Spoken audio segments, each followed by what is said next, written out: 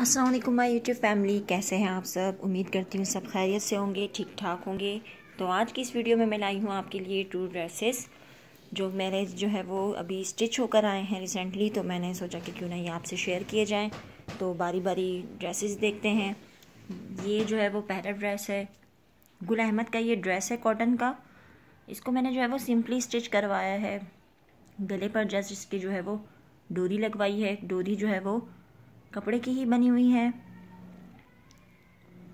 और शलवार के कपड़े की जो है वो आगे ट्राइंगल बनाकर लगवा दिया गया है। और जहाँ पर जो है वो इसका प्लेन प्रिंट था स्लीव्स में वहाँ पर मैंने प्लेट्स डलवाई हैं। इसी तरह इसके ट्राउज़र पे भी जो है वो प्लेट्स डलवाई हैं।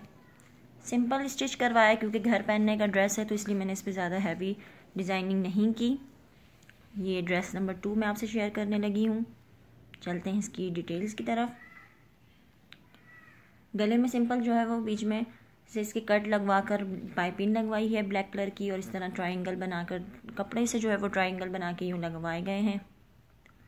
स्लीव्स में भी ट्राइंगल लगवाए हैं। अगर आप और करें तो इसके प्रिंट में भी जो है वो ट्राइंगल शेप आ रही थी इसी वजह से जो है वो मैंने इसको टर्न करो करो। डिज़ाइनिंग की और आजकल जो है वो ये बहुत ज़्यादा ट्रेंडिंग है।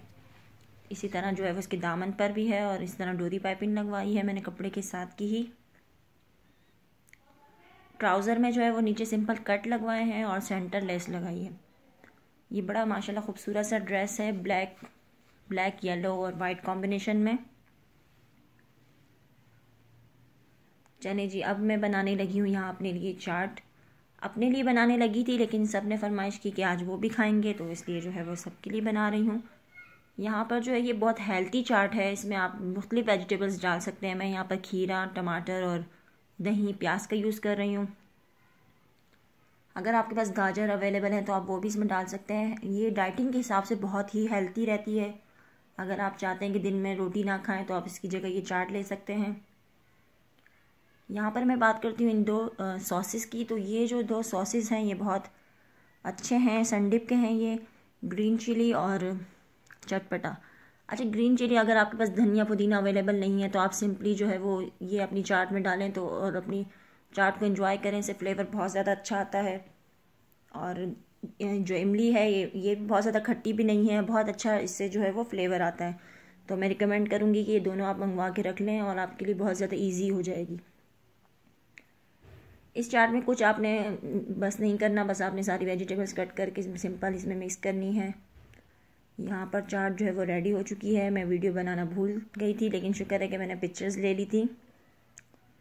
तो हमने ये चाट इंजॉय की और सबने ये चाट ख़त्म कर दी। और कुछ फिर भी रह गए थे, नाराज़गियाँ हो गई थी, भाई हमें चाट नहीं मिली तो फिर उनके लिए मैं दोबारा से बना रही हूँ यहाँ पर चाट अच्छा ये चाट जो है ना, मैं क्या करती हूँ कि ये चने बॉयल करके ना एक ही साथ और उसके बाद जो है ना छोटे छोटे पाउचेस बनाकर रख देती हूँ। लेकिन इस बार ऐसा हुआ कि पाउच बनाने की नौबत ही नहीं आई, वो ऐसे ही सारे ख़त्म हो गए। तो आप भी ऐसे कह हैं कि आप जो है वो छोटे छोटे पाउच बनाने से ये ईजी हो जाता है कि हमें बार बार जो है वो पूरे चनों को मेल्ट नहीं करना पड़ता। और हम, ये मैंने अपने लिए कल के लिए बना के रख दी है और बस थोड़े से चने बचे थे, जिसका मैंने एक पैकेट बना लिया है। इसी तरह से मैं बहुत सारे पैकेट बना लेती हूँ। जिस दिन खाने का दिल करता है, एक पैकेट निकाला, वो मेल्ट हुआ, उसमें खीरे वगैरह डाले और सिंपल खा लिए। तो ये काम, इससे जो है ना लाइफ आसान हो जाती है छोटे छोटे काम करके रखने से। अब मैं नीचे आई हूँ तो नीचे जो है वो मज़ेदार सा हलवा बन रहा था। ऑलमोस्ट डन था बिल्कुल। तो अब मैं अपना हलवा इंजॉय करने लगी हूँ, सर्दियाँ हो और गरम गरम हलवा हो, क्या ही बात है। तो सर्दियों में खाना भी हमें अच्छा चाहिए, क्योंकि सर्दियों का जो खाया पिया है ना, वो गर्मियों में भी काम आता है। तो सर्दियों में आपको अपनी डाइट का ख्याल रखना चाहिए। अब ऐसे कैसे हो सकता है कि हलवा और साथ में चाय ना हो?